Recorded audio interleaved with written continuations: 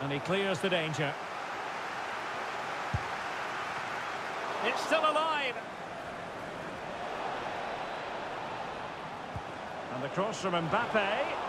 Still alive. He's gone and found the net. Brilliant piece of finishing. Magnificent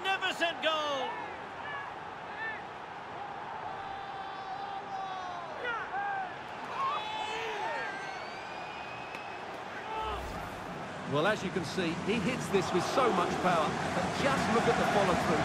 So athletic. That's a dynamic strike.